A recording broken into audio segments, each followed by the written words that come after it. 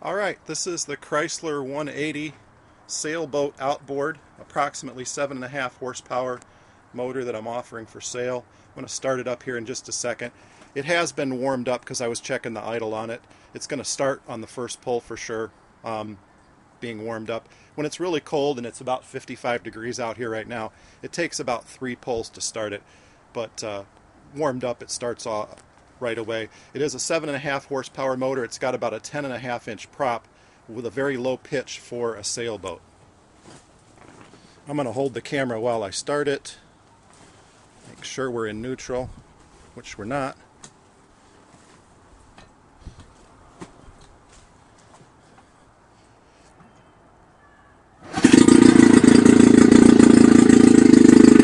That's started right at right at neutral